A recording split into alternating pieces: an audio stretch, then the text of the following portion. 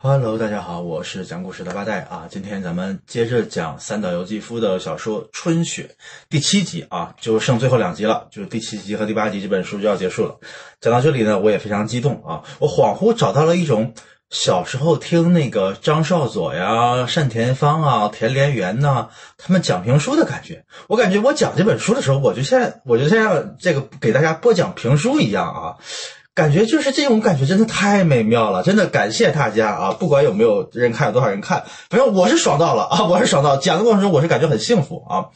同时呢，我要告诉大家的是，这个我这个节目其实呃，除了我在前面最开始可能讲镜子之家的时候，还可能还不太熟练。可能呃剪辑什么的，但是我我现在基本就不剪辑了，大家能看出来哈，是一镜到底的，一镜到底，跟一般的读书 UP 主是不太一样的。读书 UP 主其实他们都是呃，反正可能说一段就就剪接一下嘛，镜头可能也跟不上什么的。然后呃，其实我们这些做 B 站 UP 主这些视频的呢，大家也都知道，其实呃我们前面是有屏幕的啊，但是呢，我的不同之处在于，我前面这个电脑屏幕呀。它并不是任何的脚本或者稿子，它只是我把这个书里面精彩的一些呃段落啊词句给它原封不动的复制粘贴下来了，因为。呃，我讲书的时候，我肯定会是觉得我要用自己的语言来解释这个事情，同时我会发散是讲一些我对他的思考，对吧？我对这个人物的性格的分析，呃，我对这个他所体现的社会时代背景以及联系当下社会现实，我永远在联系当下社会现实，对吧？我对这个东西的思考，我我希望能借由这个文学作品映照我们的内心，同时更好的帮助我们观察和认识这个世界。那所以呢，我。的重点就在于解读，也就是也就是所谓的细读，所以我我不可能说，呃，像很多 UP 主一样，就是给你几分钟这个讲完大概这个主题思想，像咱们中学时候 讲什么语文课，什么给你概概括完毕，然后表达了什么情操，什么主题，然后告诉我们怎么样啊？不能是这样这个样子的，所以，所以我也没没有必要搞那些就是什么文案脚本，因为我其实。联系到的这种种问题、种种思考，其实我我内心里是有的，我直接可以说出来，因为我之前也是一直在做播客嘛。播客大家知道，呃，就是一些音频的一些对谈长视频啊，我也经常跟人聊一两个小时以上的这种长节目，所以我说我面对镜头这样叭叭叭叭侃侃而谈是没有任何压力的啊。所以那一般的 UP 主可能他们前面是有一个成篇的稿子，包括我最近看一个人。在他在讲一本书叫《呃乌克兰拖拉机简史》的时候，能明显看出来他是在念稿啊，因为他不是人说话的节奏，就是你像咱们正常说话，呃，除了一些语气词，你能看出来人的停顿，他是有正常人聊天的这个停顿的，但是一个人念稿的时候，他。他是完全会忘掉自己正常说话节奏，他念稿就是叭叭叭叭叭怎么念怎么念，对不对？他念他的停顿是完全是刻意的，不像我这种是完全就是正常的。我想起来什么就说什么，忘了什么呢，我也就稍微想一秒钟，对不对？这个样子，对不对？所以说，我们说，所以所以是这么一个东西。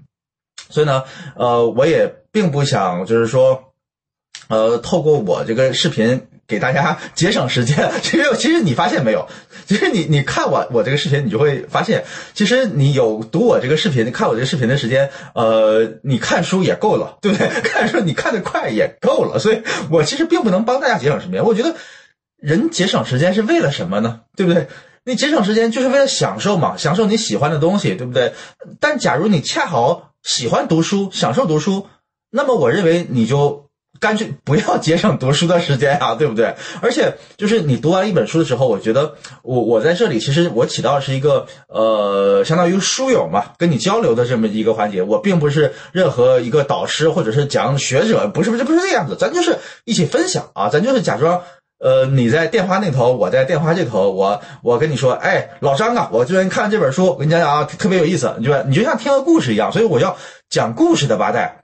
对吧？我我并不，我真的其实并不完全是一个讲书的八代，书籍是我我的一个引子。我希望借由这个书里面的故事来聊更多的生活的话题，就是一个普通朋友唠嗑啊，就是这么一个状态。所以，所以这是我的一个初衷。所以你不要困惑，说别的 UP 主怎么都那么短就讲完了，你这浪费人时间。你你你想，我一本书用了八集，是吧？这这是第七集。然后我还好碰说完这集还有两集，然后每一集可能要要四十分钟到六十分钟的时间，你想一想，就我这个体量，我这个体量，但不是太神奇了，有没有？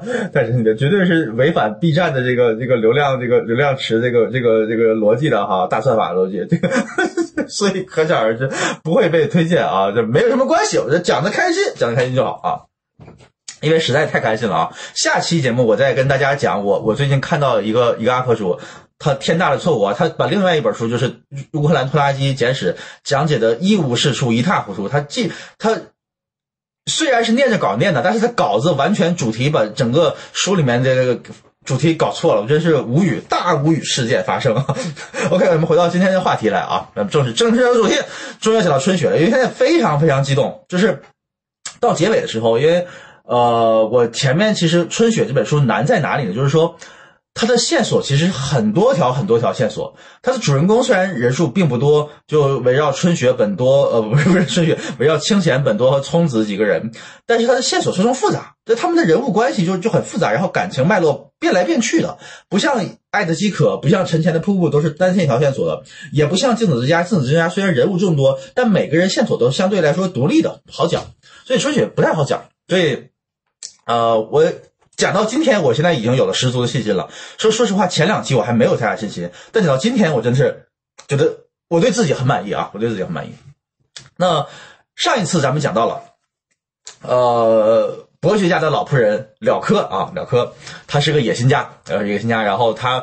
跟那个他在假装自杀但没成功之后，他说这个聪子怀孕了，怀的是那个侯爵家儿子清显的孩子啊。这一切呢，虽然我都是有着推波助澜的这个作用，但是呢。我呀，也是受命于您呐，伯爵大人，是您八年前告诉我要这么这么这么做，这么毁掉聪子的幸福啊，那我才按照您的意思来办的，那所以我就毁掉了。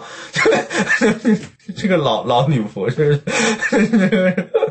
死心眼儿，因为因为伯爵当时他说毁掉聪子的幸福，他也没有想到说侯爵能给聪子物色一个老公是他妈的皇亲国戚，如果是皇亲国戚，那干嘛还毁掉？对不对？他肯定愿意搭上皇亲国戚这个这个这个呃东东院宫王子这个这这个这个资源嘛，对不对？但是这个老女仆就是了科就死脑筋一根筋儿啊，他觉得不管是谁，就算他是王子，我也要毁掉这个聪子的幸福，我也要毁掉的。伯爵也是大无语世界，大无语，你怎么这个人不动脑筋呢？对不对？那好了，现在他们想什么办法？呃，这边呢？呃，侯爵就跟伯爵商量说，那个聪子已经怀了孕嘛，这事儿得瞒下去，得打胎，打胎。然后侯爵这个人社会交往能量很大呀，社会面认识很多医生啊，然后就把医生请去了，说，但是这个这个手术不能在东京进行，走漏了风声不就被传出去了吗？所以说得让聪子假装去到别处的一个寺庙，因为那个寺庙咱们前面也提到了，是伯爵家的亲戚。呃，当门妓的，也就是这个寺庙的住持。那个寺庙是一个尼姑庵啊，这个是个女的。这这个亲戚，这个门妓就是这个寺庙寺这个尼姑庵的最高领导者吧？这么这么理解，是他亲戚。那么打着旗号，就是说，充子以后嫁到皇宫，那不能随意的、轻易的、自由的出入了。所以说，那趁着还能呃自由出入的时候，去看看我这远房的亲戚，算算一个告别这样子。那然后呢？在这个呃寺庙周围那那个城市啊，就先找个旅馆住下，然后那个让医生呢也偷偷过去，然后先把聪子这个胎给打掉，然后这个休息一天再去寺庙看，然后再回到东京，就是说掩人耳目啊，就就完成了。那这个过程中，清显当然是呃没有任何发言权，没有任何发言权，人家都不让他看了。但是呢，就表面上呃因为。呃，聪子要去这个寺庙，那离开东京，大家还要送行嘛，所以一行人等就是清显呢，也随着爸爸妈妈来送行了。同时呢，清显的妈妈就是作为侯爵家的代表人物，呃，也要陪着聪子和聪子的母亲一起去那个呃寺庙，就是监督的打胎这这么这么一一个一个过程。所以呢，呃，清浅和聪子这一次见面，大家这样重点来了，这次见面是在车站，就是分别，就是呃。因为车站是人流攒动啊，很人很多，所以清浅和聪子并不能表现出那种就是呃柔情蜜意的任任何场面，就是就是你必须要当成呃普通朋友甚至陌路人一样，就是就像两个小孩只能看着两个大人在那聊天，小孩之间不要插嘴，就这么一个画面啊。即使你你俩已经上床了，但是你在大人面前还要假装成就是两个小孩两小无猜，好清纯哦，我什么都不知道的样子，这个样子。清显，清显就是看到聪子，然后下了马车来到站台，准备登上这个电车嘛。然后呃，聪子这个这个外貌就给了清显很大的这个刺激，就是他 就能那个哎，这个就是女人这个丰腴、成熟、体态柔美啊，种种。因为怀了孕嘛，所以所以聪子的外貌可能也有些呃更成熟的韵味啊。清显就当然很喜欢。然后清显想的是，注意这个想的很重要。清显想的是。哎，这个聪子小姐的衣服下面所有每一寸肌肤，我都摸过，我都知道是什什么样子的。哎呀，但是现在却呃不能跟他有什么任何亲密的举动，清显觉得很很那个难过，对不对？而聪子呢，我给大家读一读啊，对了，这个描写特别好。聪子抬起眼睛，默然注视着靠近站台一侧窗户外面，清显痛彻的感到，他的那双眼眸。被来自内里的阴影全部遮挡住了，已经没有映现他的身姿的余地了。就是说，聪子的眼里是这个这个阴影代表了什么？就是他内心的阴影嘛，已经完全笼罩了自己。聪子已经把自己封闭了起来，聪子已经对这个世界绝望了。聪子这个时候已经不再爱恋或者思念着清显了啊，这个很很关键。窗外响起尖利的哨哨音，聪子站起身来。清显看到他毅然而起，使出浑身的力气，伯爵夫人连忙挽住他的膀子：“快开车了，赶紧下去吧。”就是告诉那个清显，就是送赞的你们别上车，上车别被车带走嘛。聪子那双美丽的大眼睛看上去潮润润的，然而那种莹润似乎和清显所畏惧的泪水依然相距遥远，眼泪硬是被强忍住了。那是一位溺水之人，径直向他是投射过来的渴望救助的眼神啊！就是聪子在最后一刻忍住了泪水，就是那个泪水代表了什么？泪水代表了聪子仍然渴望被清显救助，但是他知道清显做不到。清显不由怯懦。聪子修长而俊美的睫毛，犹如一朵蓓蕾。猝然绽开，向外部世界尽情展现着严厉的鲜花。就是这种描写，就是我为什么一定要把它摘抄下来给大家读？因为这种描写是我任何用我的话语，我深知我的能量，我的词藻，我达不到这样的境界，所以我就让大家欣赏这个三岛由纪夫他原汁原味的作品就好了。当然是翻译过的啊，我也没有能力给大家读日文啊，咱也不会。所以这个词藻，这个我觉得这个翻译的还是非常好的，就是。像像这种段落，就是我不希望大家丢掉它，所以我就，所以我要复制到电脑上面给大家读出来啊。那其他就是我个人的解读。OK，就这么离开了，就这么离开了。那从此，呃，咱们话不多说，就顺利的到了另外一个城市，打完胎了啊。然后那还得走个形式嘛，去这个这个寺庙叫做月修寺，拜见他这个门迹啊，门迹就是现在就是两个人了。呃，聪子被他的妈妈，呃，也就是伯爵夫人带领着去拜见这个远房亲戚门迹啊，这么一个过程。他们也是坐着人力车啊，有钱人贵族当然得坐人力车啊。这下下一段阶段讲的是他们到达山上这个沿途的这个所看到的这个东西啊，你注意观察。两辆人力车通过黑漆门柱之间的时候，道路周围已经充满浓厚的寺院内的气氛。夫人到达这里才初次见到红叶，不由赞叹起来。黑漆大门之内有几棵树木的红叶，虽然还谈不上十分艳丽，但这种在山坳里凝聚在一起的暗红色，宛如尚未得到彻底净化的醉眼，深深留在夫人的印象之中。注意，这个红叶不是那种鲜红，象征的生命与活力与血液的鲜红，而是暗红，它是醉眼，它是。就像是张爱玲说的那个什么，就是朱砂痣一样，它是深深埋在心底的一种一种一种抹不掉的一种一种一种一种罪呀、一种阴影、一种伤痕一样的东西啊！这个就像聪子内心的那那那种感觉，是现在他们充满了这么一种罪孽，因为他们反正是已经。欺骗了皇家呀，这相当于欺骗欺君之罪呀！你欺骗当然虽然不是天皇，但你欺骗的是这个呃天皇的亲戚嘛，王子嘛，对吧远房的一个王子，欺君之罪这可是，就是说那日本人讲那么讲究效忠天皇，那么忠诚，但他们现在就背着这个王子搞婚外情、打胎，这就是欺君之罪。所以说这个说罪眼一点都不过分，一点都不过分。这种暗红突然像锥子一样扎向夫人的心里。而一想到后面的冲子，他顿时不安起来啊！这还作为一个母亲的本能本能呢，就是他想到，其实我内心深处有这么大的罪孽，同时这个罪这个罪孽也深深的扎进了我女儿的心里，那我当然不安了。这个母亲的本能还是有的啊。然后他们 就。跟门迹正常的这个呃拜访了，哎，然后拜访的途中呢，呃，夫人跟门迹唠的嗑，然后聪子呢就是呃蔫巴悄的，就是显得就是挺不愉快的啊。因为之前门迹其实咱们大家讲在在前几章的时候讲过，呃，门迹曾经做客到侯爵家里，然后侯爵侯爵家里举办一个盛大的园游会嘛，门迹啊、聪子啊一家什么伯爵啊都来赏花啊什么做客。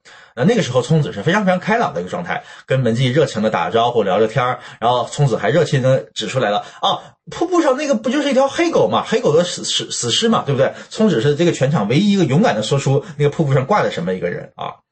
然后你注意到，呃，这个黑狗的死尸预示着什么？预示着聪子的命运也将走向像黑狗一般。但是聪子没有说真的死亡啊，而是他的感情，他的尘缘。也将终结。这个黑狗其实预示了结尾的一切。同时，这个黑狗，呃，因为出家人讲究什么“扫地不伤蝼蚁命，爱惜飞蛾杀照杀照灯”哈，出家人要超度一切的生命。所以当时因为有门迹在场，所以呢，呃，虽然它只是一条狗，不知呃来源的狗，但是门迹依然为那条黑狗做了超度的一些法事。注意，这个很关键。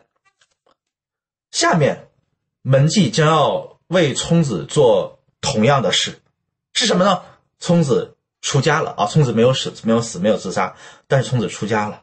就是你看前面最开始门迹说我超度一条无辜的生命，到结尾，聪子同样也是一条无辜的生命啊！只不过他现在只是就是呃，咱们可以说他的精神世界已经完全脱离了尘缘，他完全已经对现实生活绝望了。所以说他也是跟现实完全无辜的无关系的一个一个一个这么一个存在。咱们可以说他的。爱情已经死了，所以聪子现在要出家。所以这一晚，趁着所有人都睡觉的时候，聪子悄悄的来到了这个呃尼姑庵月修寺的呃某个大殿里。然后第二天早上，他妈妈哎看到旁边女儿怎么没有了，找不着她了，然后就四处寻找。然后他妈妈来到这个大殿，一看，回廊尽头是大殿，远远望见那里烛影闪动。平日里呢，不会有人一大早就去诵经的。两只绘着花车模样的画烛点燃着，佛前坐着冲子。夫人觉得从背影上已经完全认不出女儿来了，因为冲子自己削去了头发，那剪掉的青丝供在经案上。冲子手捻佛珠，专心祈祷。冲子自己给自己。剪掉了头发，当然这不算剃度啊，因为剃度你得正经经过，就是那个门迹的那个正经给你剃，然后还要怎么样处理？这个就是，但是说已经代表了聪子的一个出家的决心嘛，因为青丝象象征的就是人间这个烦恼嘛，他剪掉了这个东西，他已经彻底对尘间绝望了。所以说前面在站台送别呢，也能看出来，聪子确实是对清闲已经除了那种最后的绝望的泪水已经忍住了，他对清闲已经没有什么感情了，就是这么一个状态啊。那 OK 了，聪子出家了，这是这本书的一个很大的谜底揭开了啊。那门迹是什么态度呢？就是说，对吧？门迹到底要不要收留聪子呢？门迹门迹就。呃，也是没有说呃很决绝的说我就要收或者不收，但是门迹这个人很善良，就这里面，假如说嗯有几个好人的话哈，门迹绝对算一个好人，聪子算一个好人，这两位呃一个年长一个年轻的两位女士，她们绝对是这本书里面最闪光、性格最耀眼、最优秀的两个人，真的牛逼，三岛由纪夫。他写这个这个女性写的是真好，真好。门迹，你看出场呃时间不多，寥寥几笔，就是只是开头，然后和结尾这两处哈。但门迹那种就是嗯世外高人的感觉就显现出来了。他他对尘世不关心，呃背后，但是他却关心个体的生命。真的就是我不关心你们社会的什么呃礼仪规范、尘世的东西，但是。你聪子，我知道你现在这么痛苦，你来到我这儿，你一定有什么苦衷，你向我诉说吧。然后他就决定，呃，伯爵夫人呢，你先回东京，你先回去，让聪子在我这儿待着啊。然后你看，他就好心的收留了聪子，他觉得他因为他知道这么一个痛苦的人，他已经无处可去了。所以说，这个意义上讲，就是这个佛法真的是很好啊。我我不信啊，我不信信仰任何宗教，但是我觉得从向善的角度来讲，这个佛家还是很非常非常善良，非常善良。那之后呢？呃，这伯爵夫人也无奈，也没办法，伯爵夫人就回到东京啊。那这 回到东京之后，好了，夫人把这个事儿又告诉了伯爵。那现在伯爵和伯爵夫人又商量怎么办啊？那伯爵伯爵拿定了什么主意呢？先拖着，跟之前他知道从此怀孕的反应一样，先拖着啊。现在先不管他，咱先不管他，逃避主义者，逃避主义者，这个。这是逃避主义者，就是啥事儿先不管啊，因为他知道侯爵会给他收拾烂摊子的。那果不其然，侯爵和侯爵夫人来到了伯爵和伯爵夫人家，四个人啊，四个人。你看，伯爵想的是，不管多么了不起的事情，只要放置不管，自然呢就会因放置而产生利害，就会有人呢站到自己的一边。这就是伯爵的处世哲学啊。好了，那四个人现在围绕着一场呃虚伪一时的。的这种这种场合关系亲密起来了啊，就是他们四个人其实本来是互相埋怨嘛，就是侯爵要埋怨伯爵说你怎么管不了自己的女儿啊，怎么又让她出家了？本来都已经把胎打了，已经欺骗过去了，怎么还搞成这种幺蛾子呢？对不对？但是呢，就像之前说的，伯爵也不反驳啊，也不争辩，所以侯爵像一拳打在棉花上，根本他架吵吵不起来，吵不起来啊。然后呢？这个时候就有一个人提出来了，哎，做顶假发吧。就是你看，这个时候他们想了解决问题的方法是什么？表面文章，他们以为一顶假发就能把一切遮掩过去，这是多么荒谬的事情！就像现在这种。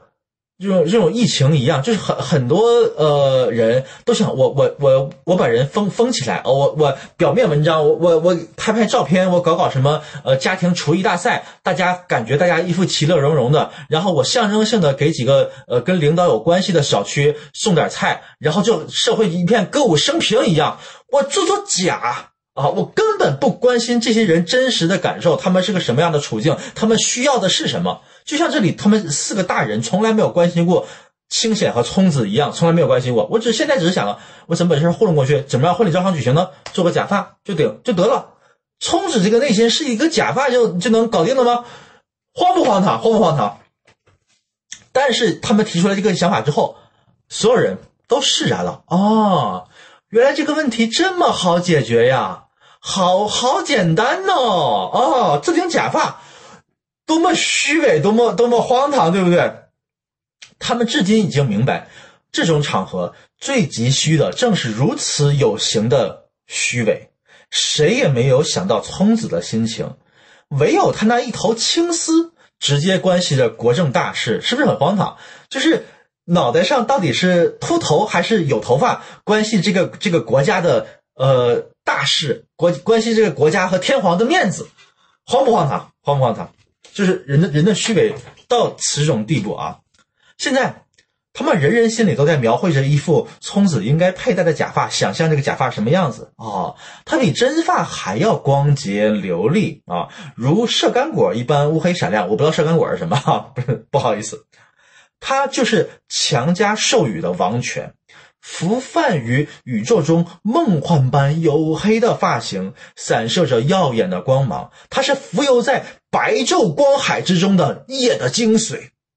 假发下面呢，应该嵌入一副美艳而悲伤的脸庞。那是一件很困难的事情。四个人虽说都想到了这一点，但并没有仔细考虑。就是他们想到了假发下面应该长着一张什么样的脸。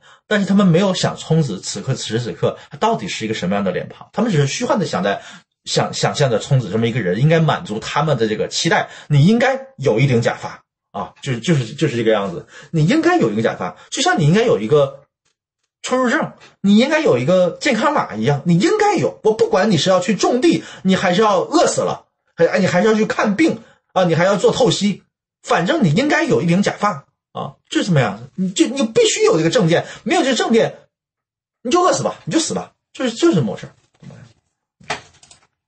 OK，那 咱们再回头看月修寺那边，文姬这个时候他已经下定决心要收留聪子了。善良的老女人善良啊，棒。平时如此谦恭温良的老门妓，如今变得意志坚定、威武不屈起来。为了默默维护圣上的神圣，他敢于对抗现世的一切，但是必要时，他甚至决心违抗圣上的旨意。聪子呢，看到眼前这位门妓决心如此强大，他最后又进一步立誓要舍弃尘缘。这件事儿他已经考虑了很久。但聪子确实没有想到门妓会如此满足他的心愿啊！聪子没想到这个老门妓这么善良啊！聪子遇上佛了，聪子意志坚定，门妓高瞻远瞩，凭借自己的仙眼洞察了聪子的内心。然后下面就是聪子剃度的一个过程，非常好的一个描写。头盖骨周围展开一片谁也未曾触摸过的新鲜、寒冷而清静的世界。剃去的部分逐渐扩大，冰冷的头皮也随之扩大起来，犹如涂上一层薄荷。这个重点在哪里？头盖骨周围是一片谁也没曾触片触碰过的新鲜、寒冷而清静的世界，跟前面哪哪里对应上了？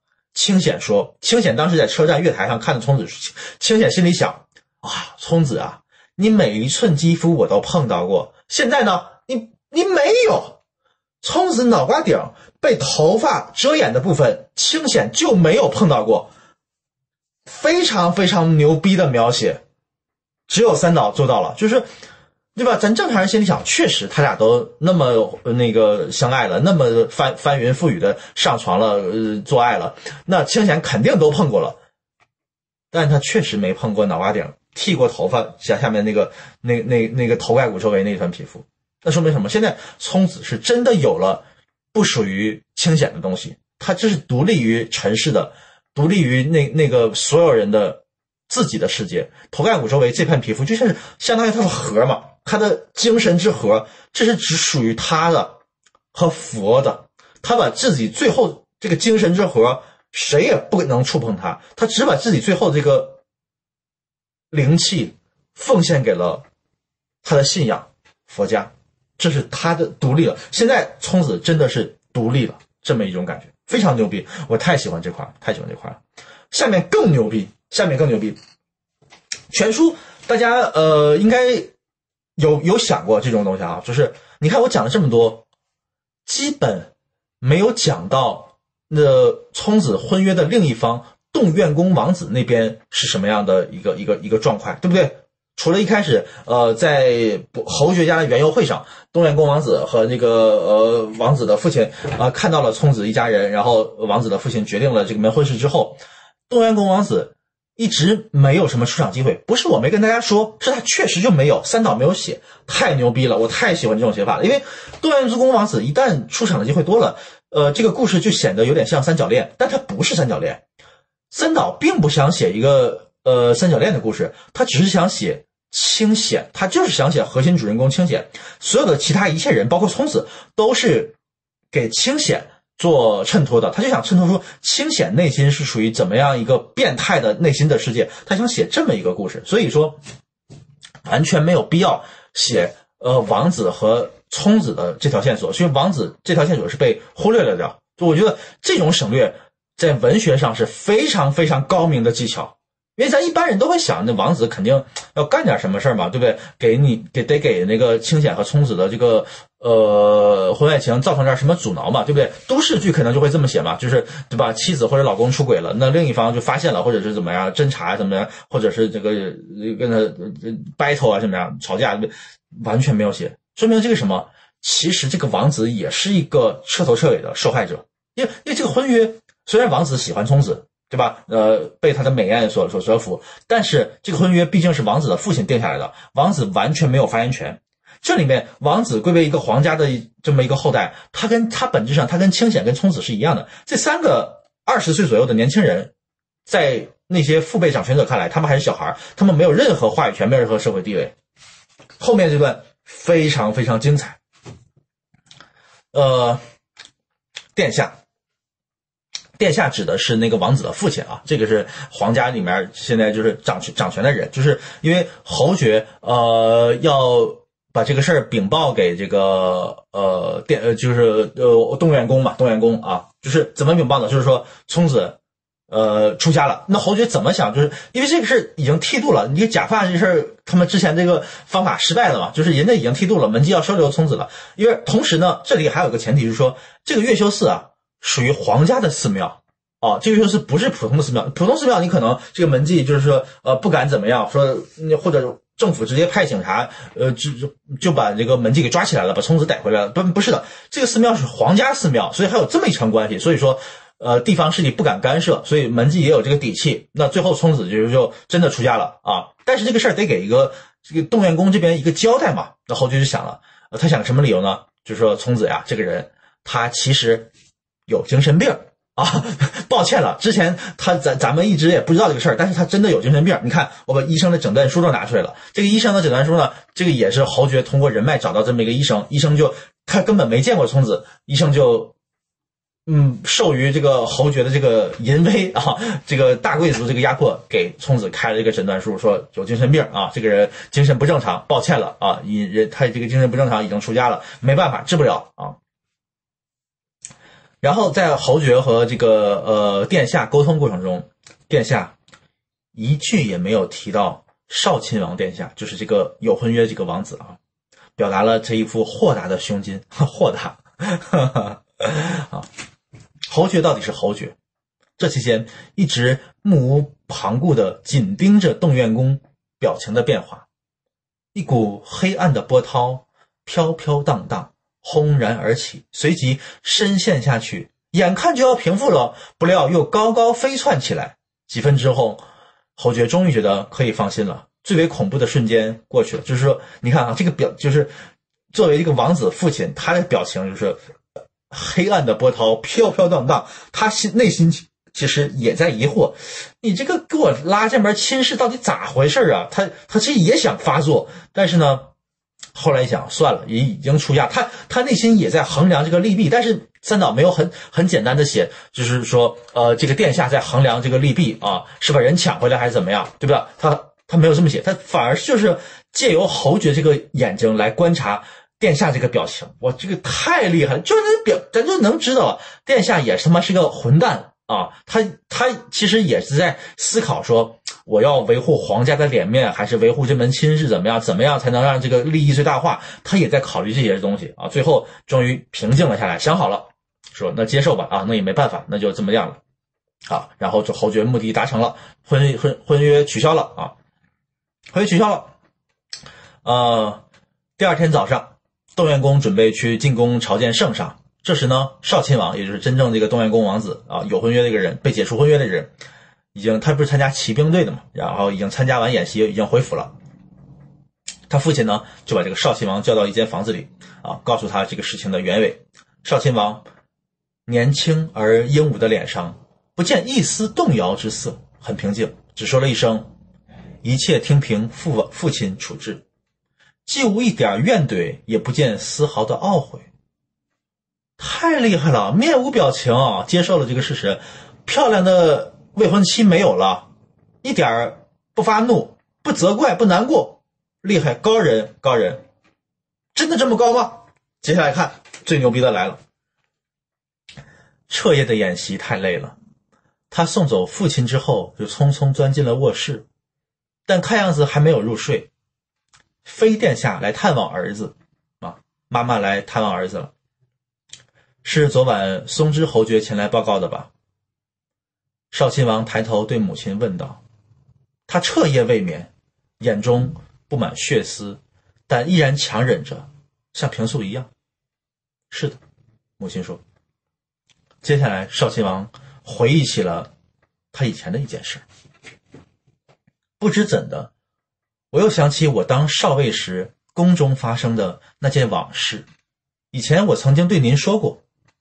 我进宫时，在走廊上偶尔遇见山县元帅，我不会忘记，那是外院宫殿的走廊。呃，这里讲一下，山县元帅是当时日本政府非常非常牛逼的一个大将军，就是相当于呃首相、总理那么这么一个位置吧，非常非常牛逼。就是说他掌握实权，就是天皇其实只是一个名头嘛，这个山县元帅掌握实权的人。嗯，元帅大概刚刚觐见了圣上，他像平时一样穿着普通的军服，外面是宽领外套，戴着军帽，帽檐压得低低的，两手随便插在裤兜里，军刀几乎拖到地上，大模大样的在幽暗的长廊上迎面走来。我赶紧躲到一旁，直立不动，郑重地向元帅敬礼。元帅用他那绝不微笑的锐利的眼睛，嗖乎瞅了我一下。啊，元帅不会不认识我，可是他立即不悦地转过头去，也不肯还礼。按理说，你不管是别人给你敬礼，你得你得稍微说两说一句嘛，对不对？何况这还是一个王子，但他不肯还礼，依旧傲慢地高耸着肩膀，迅速离开了走廊。不知为何，我现在又想起了这件事。第二天，报上刊登着题为“动院公府因故退婚”的消息，以及世人翘首已久、准备大肆庆祝一番的纳采仪式停止的报道。家中发生的一切事情都瞒着清显。他清显，这个消息他是从报纸上看到的。好，上面这段非常非常牛逼，太牛逼了，我太喜欢了。这个王子今天他被父亲告诉了婚约取消的时候。他一点感情都没有动，因为因为什么呢？他已经习惯了在这个封建礼教制度下被压迫、被告知、被要求做任何事儿，被像提线木偶似的操纵着。为了皇家的面子，为了为了这个皇皇族的尊严，他不能有任何感情。而这种行为就像什么？就像当初他在那个外院宫殿的走廊上碰见那个元帅是一模一样的。那个元帅是真正有实权的人，元帅根本不屌你们皇家这些所谓的这些什么王子什么，根本不屌你们。你们维护那点什么可怜的尊严和面子，算个屁！在我元帅眼里，没有任何意义。我根本不屌你们，你们你们都是靠国家养着的人，是我们大日本帝国，我们征服东亚，我们我们出征世界，我们这么牛逼，我们是靠我们军人养着的。元帅本质上内心是这样的，对一个皇家鄙视的一个态度，所以他绝不会向一个王子还礼，而这个态度就像王子的父亲对王子是一模一样的。王子的父亲作为一个封建大家庭里面这么一个父辈的一一个一个掌权者的形象，他肯他肯定也是不会向儿子透露出任何一点妥协、呃怜爱和尊重的。他是掌权者，他只需要把命令告诉儿子：“儿子，你应该去娶这个人，你应该有这么一段关系。现在这个关系取消了，OK，儿子，你干别的事情去吧，你走吧。”是这么一关系，是一模一样的。就是这个儿子来源于两重压迫，一个是来自于他父亲对他的压迫，这是一个父父子子的压迫；另外一方面也来自于这个权力的压迫。他虽然身份上是皇族的人，但是。他有个屁权利，他没有权利。当时的日本军国主义才才是占据主导地位的这么这么一个潮流，皇家的人跟在军人面前屁都不是。虽然这个王子他作为一个男人，他可以压迫女人，他可以压迫平民百姓，但是同样他受的这两种这个来自父权和军人的压迫，他是逃不出去的，所以他会有深深的无力感。他这种无力感不敢跟父亲来诉说，他没办法跟父亲表表现那那种那种脆弱。父亲就会怪他说：“你个大男人，你哭什么？你你有什么可不高兴的？我给你这么好的生活，你有什么还不还不满意的呢？你都能吃上饭了，对不对？锦衣玉食享用着，你还干嘛呢？对不对？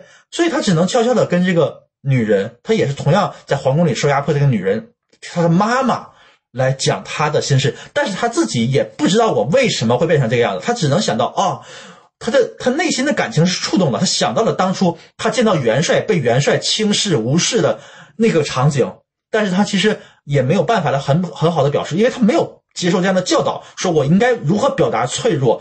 其实咱们正常人都会可能会讲，妈，我好难过，我的未婚妻没了，我好痛苦，我好难过，我想哭，对不对？获取到安慰。但是这个王子已经不会了，他已经深深的被这个制度所。束缚住了内心的情感表达方式，他只能想起来以前的一件故事，说跟妈说：“妈，我想起一个事儿，我跟你讲讲。我也不知道事儿，这个我是怎么了？我不知道自己发生了什么东西，这是最可悲的，太可怕了。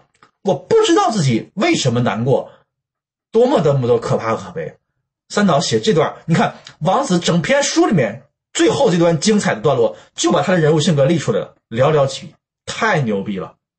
我是讲故事的八代，欢迎大家接着收看我的节目，拜拜。